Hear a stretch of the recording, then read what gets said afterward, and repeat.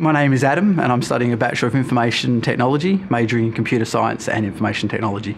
The online study is really good, especially if your circumstances need it.